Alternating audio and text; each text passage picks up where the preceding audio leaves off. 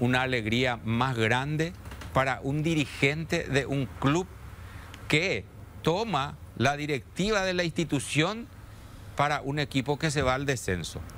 Por eso la alegría enorme del presidente del Club Esportivo Luqueño, Daniel Rodríguez, al terminar ayer un partido entre otros dos equipos, no Luque. Luque ya había jugado su partido y estaba esperando el resultado entre Fernando de la Mora y Pastoreo. Si Pastoreo ganaba, y se postergaba todavía el festejo para el regreso a Primera División. Fernando de la Mora ganó y comenzó el festejo. ¿Qué dijo el presidente luqueño? Y un momento muy especial y les puedo decir que por fin terminó la película de terror para el Esportivo Luqueño. un año, o sea, un año de un año muy, un año muy complicado.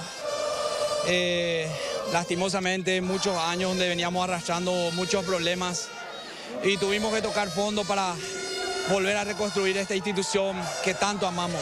Duele más fuerte que nunca, dicen los hinchas. Y, es así, y es así, y es así, es así, con mucha humildad, con mucho perfil bajo, con mucho trabajo y demostrando que Luque es importantísimo para el fútbol paraguayo.